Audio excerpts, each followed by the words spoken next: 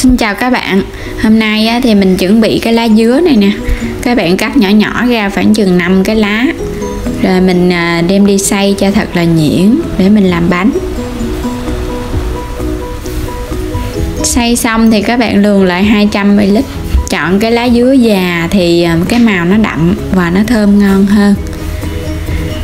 Rồi mình chuẩn bị thêm phần bột à, đây là 200 g bột gạo. Bột gạo này á, thì các bạn dùng cái loại nào cũng được hết. Và 200 ml nước cốt dừa để cho cái bánh nó béo ngon. Thì nước cốt dừa này các bạn có thể dùng nước cốt dừa lon hoặc là mình dắt ra và 100 g đường. Trước hết thì mình sẽ cho hết cái phần bột gạo 200 g vô trong cái à, thao này là mình dùng cái muỗng này nè muỗng canh mình sẽ múc ra một muỗng canh bột gạo để các bạn sẽ thế vô bột năng. Thì cho cái bánh của mình nó, nó có độ dai ngon hơn mình sẽ thế một muỗng canh bột năng vô đây. À, phần này thì các bạn cũng có thể không có bột năng cũng không sao. Cho hết 100g đường nếu ăn ít hơn có thể giảm lại và chút xíu muối nước cốt dừa này thì uh, mình dùng cái loại nước cốt dừa mình ép á nó béo lắm luôn. Mình sẽ lường vào đây 200ml nước cốt dừa. Và mình cũng lường tiếp 200ml nước cốt lá dứa luôn. Lá dứa này á, cái màu rất là đậm. Đây mình cho vô bột rồi mình sẽ khuấy nè cái màu lá dứa các bạn chọn cái lá càng già thì màu nó sẽ càng đậm và thơm nha. Còn cái lá non ở trên cái ngọn á, thì nó không được, màu nó không có đậm, nó lợt lợt. Mình khuấy cho bột nó tan đều hết. Rồi mình sẽ để bột ở đây cho bột nó nghỉ, để nó nở. Trong lúc chờ bột thì mình chuẩn bị lá chuối. Lá chuối này thì mình xé sẵn rồi nè, một miếng thì hơn bàn tay của mình thì các bạn xé khoảng chừng ờ, vừa vừa thôi khoảng một hơn một tấc một tấc rưỡi gì đó. Rồi mình dùng thêm một cái tàu chuối nè cái cọng của cái lá đó cái sống chuối. Thì mình lấy một cọng này khoảng chừng một gang tay. Xé lá chuối xong các bạn trụng sơ với nước sôi á, để cho lá chuối của mình nó dịu lại. Nếu có nắng thì mình đi phơi nắng. Hôm nay trời mưa không có nắng.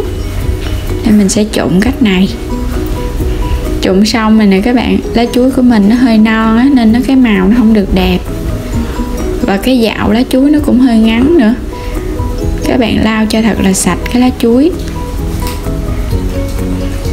Đây à, cái cọng chuối này nè các bạn sẽ để xéo cái miếng lá chuối ha rồi mình quấn nó lại. Mình quấn để mình tạo thành cái cuốn á một cuốn tròn. Các bạn có cái lá chuối già thì ra cái màu nó đẹp hơn cái lá chuối non rồi mình sẽ rút cái ống này ra. Cái ống chuối này các bạn có thể thế bằng cái ống trúc á, cái che trúc á, hoặc là những cái à, đũa bếp của mình á. Rồi mình lấy cọng dây ni lông này nè, hoặc là có cọng dây chuối thì mình buộc cọng dây chuối, hoặc là cọng dây nhựa vậy đó. Dây nào cũng buộc được hết á, chỉ nhựa cũng buộc được luôn. Rồi mình sẽ cố định cái mối ở chính giữa lại. Cái đầu này các bạn sẽ gặp nó lại vậy nè là mình cũng lấy cọng dây mình quấn. Quấn cho chặt và mình buộc nó lại cho kín. Cái đầu này á, là một hồi nữa mình cho bột vô á. Nếu các bạn buộc không kín là bột của mình nó bị chảy nha. Mình buộc cho cái lá chuối nó khít lại luôn.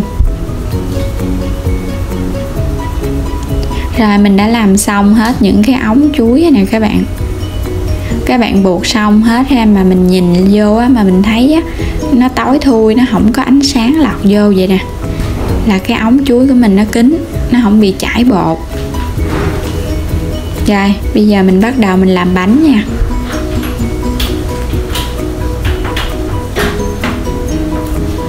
Các bạn dùng cái ly á, mình cố định á. Rồi mình sẽ dùng cái ca có cái mỏ nhọn này nè, để mình gót bột vô. Hoặc nếu không, các bạn dùng cái quặng á, mình kê vô rồi mình gót bột cũng được nữa mình gót bột sao mà cho nó vừa mí đừng có đầy quá ha để mình còn gặp cái đầu này lại nữa nè. Đó các bạn chừa ra chút xíu khoảng chừng 2 cm vậy đó. Rồi mình gặp cái đầu nó lại rồi mình buộc. Buộc cho thật là chặt luôn. Để bột khi mà mình hấp nó không bị chảy ra. À, mình để trong cái ly á, là cố định được cái ống này nè. Mà khi mà cái ống các bạn quấn nó không chặt tay á, thì bột nó chảy vô cái ly nó không bị chảy ra ngoài tùm lum á. Rồi xong một ống rồi nè đẹp, dễ thương quá. Tương tự các bạn làm tiếp ha. Mình làm cái ống thứ hai. Và nhớ cái đầu à, quấn này nè, các bạn nhớ quấn cho chặt tay. Làm xong thì mình sẽ sắp vô trong cái nồi hấp luôn.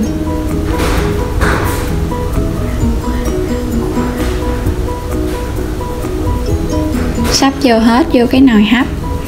Rồi mình à, bắt bắt trước cái nồi nước trước á rồi mình sẽ đem đi hấp nè. Các bạn cho vô nồi mình sẽ hấp với bánh này khoảng 20 phút với lửa trung bình. Vì cái ống này cũng không có lớn. Sau 20 phút thì mình kiểm tra bánh. Và bánh nó bay cái hơi mùi lá chuối và cái mùi lá dứa. À, à, cái bánh này các bạn cái màu lá chuối nó lên cũng đẹp nữa bây giờ mình đã lấy nó ra dĩa rồi nè. Các bạn sẽ để những cái ống này cho nó thiệt là nguội khoảng chừng 1-2 tiếng đồng hồ thì mình ăn nó mới ngon nha. Rồi mình sẽ để ở đây cho nó nguội. Sau khi bánh của mình á, mình để nãy giờ á, bây giờ cái ống nó cũng nguội rồi và lá chuối nó dịu lại. Nó có cái màu hơi à, tối hơn hồi nãy chút xíu thì cái bánh này á, mình phải ăn nguội bột nó sẽ ngon hơn. Tại vì khi mà mình mới mới hấp ra còn nóng á bột nó mềm. Mình sẽ tháo nó ra nè. Bánh cúng lá dứa. Đây cái màu lá dứa của mình là cái màu của lá dứa luôn. Mình không thêm màu thực phẩm nên màu nó sẽ có cái màu hơi lợt lợt cộng với nước cốt dừa nữa nên bột của mình nó không có đậm màu đâu. Và cái bánh của mình rất là béo, nước cốt dừa. Các bạn nhìn cái lá chuối là mình biết nước cốt dừa nó béo rồi đó. Nó có cái độ bóng á. Bánh thì mềm dẻo nè. Bây giờ mình sẽ cắt nó ra. Ngoài cái bánh cúng lá dứa này, các bạn có thể làm thêm cái bánh ờ, màu trắng. Nước cốt dừa không? Không có lá dứa. Này bánh của mình nó có độ dẻo nè. Và có độ dẻo dai, mềm. Đây nhìn rất là dễ thương. Những cái ống cuốn cắt nó ra. Cái bánh của mình không bị cứng. Nó có độ mềm và độ dai. Cho lên đây một ít mè nữa. Các bạn cũng có thể ăn không vậy thôi.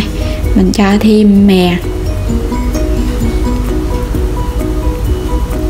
Rồi, bây giờ mời các bạn cùng thưởng thức cái bánh cúng lá dứa à, bột gạo. Đây bánh của mình nè.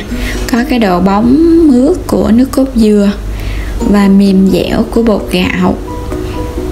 Thêm chút xíu bột năng để cái bánh của mình nó có độ dai. Béo nước cốt dừa. Thơm mùi lá dứa rất là ngon luôn. À, nếu các bạn chưa từng ăn cái bánh này thì hãy vào bếp và cùng làm để thưởng thức nha. Rất là ngon luôn nếu các bạn có thích video của mình thì vui lòng đăng ký kênh ủng hộ mình được 100.000 subscribe nha các bạn. Mình sẽ có quà cho các bạn. Cảm ơn, hẹn gặp lại video tiếp theo.